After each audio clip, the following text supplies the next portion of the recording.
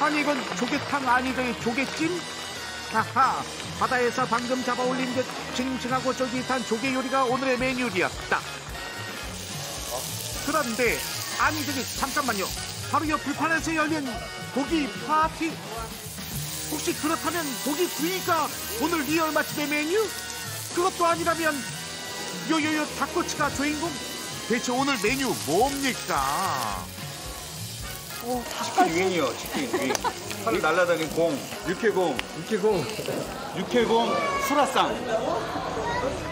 육회공 총 출동한 육회공 수라상 잘 익은 조갯살 위에 초고추장 올려서 한 입에 쏙 거기에 치즈 김치 올려서 한 입에 쏙 이것이 퓨전 조개 삼합이요 내가 오늘 왕이 된 것 같아요.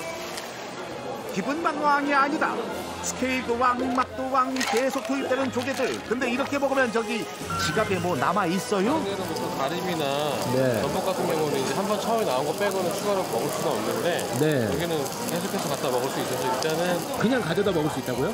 추가 비용 없이요? 15가지 종류의 조개가 모두 무한 리필 진짜 싸한 근데 건데요. 딱 봐도 범상치 않은 포스의 식객이 등장하는데 몇 번째 오셨어요? 이걸로 여섯 번째요. 내 위장이 허락하는 한 조개 리필은 계속된다 어, 아유 많이 가져가 많이 먹지. 그러니 이게 매력인데요. 몇 한가득 개예요? 조개 접수 완료 이게 끝 천만의 말씀 소, 돼지, 닭고기를 비롯해 각종 반찬들까지 모두 무한 리필일지니 이곳에서만큼은 자동 공인 해제되는 식욕 내 위장의 한계는 어디까지인가 사장님은 뭐 하시는 분일까요? 식객들 제대로 인생 가져서? 가보러 온 것 같은데 오늘 한 어느 정도 드실 생각이세요? 한 5kg 찍고 가려고요. 도전! 다들 도전. 본격적인 육회공 맛 투어는 지금부터 시작. 먼저 쫄깃하고 감칠맛 나는 조개로 입맛 돋우어주고 맛있다. 저절로 미소가 번지는 맛. 어, 무슨 말이 필요해요? 이번엔 고기 좀 구워볼까나?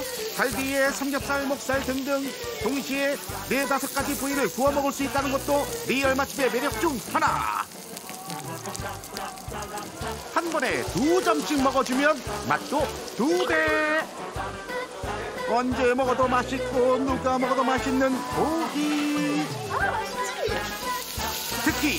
달콤 짭짤 매력의 요 닭꼬치는 어린 식객들 입맛 제대로 사로잡았다.